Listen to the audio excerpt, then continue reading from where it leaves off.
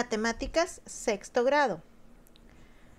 Ubicación de objetos en una cuadrícula. El tema es correspondiente a los desafíos 13 y 14 del libro de textos de las páginas 26 a la 30. Ubicar un punto en una cuadrícula. Para localizar un punto en una cuadrícula, se identifica el renglón o la fila y la columna en la que ésta se encuentra. Las cuadrículas ayudan a ubicar de manera sencilla y ordenada objetos, representaciones o puntos en un plano. Veamos primero cómo podemos identificar o cómo podemos diferenciar lo que es una fila y una columna dentro de una cuadrícula. Aquí podemos observar una cuadrícula en donde están ubicados algunos animales. Vemos que en la parte de arriba está identificadas con letras y en la parte de la izquierda se identifican con números.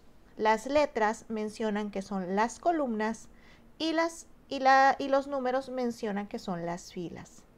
Ahora, las columnas son aquellas que se encuentran de manera vertical.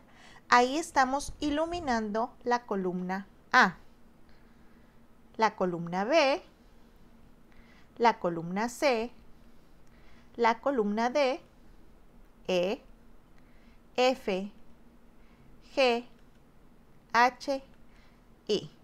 De manera que las columnas siempre van a ser las que estén de manera vertical, como en el ejemplo donde las acabamos de iluminar.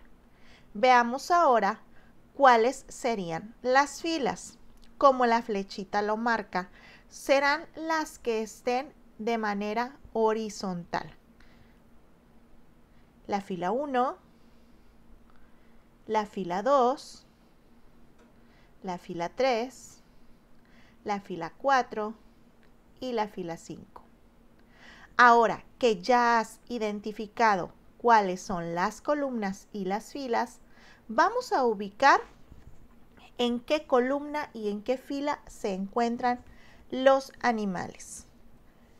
Pensemos en qué columna y en qué fila encontramos la rana. Está aquí, la columna es la C, la fila es la 2. Veamos. La rana está en la columna C en la fila 2. La mariposa nos menciona que está en la columna A en la fila 3. Justo donde se cruzan esos puntos, ahí es donde vamos a encontrar a la mariposa. Y estamos aquí. Si nosotros recorremos la columna A con una línea y la fila 3, Justo en el punto donde se cruce, ahí se encuentra la mariposa. La ardilla se encuentra en la columna G. Podríamos trazar aquí una línea en la fila 3 y donde se juntan las líneas, ahí está ubicada la ardilla.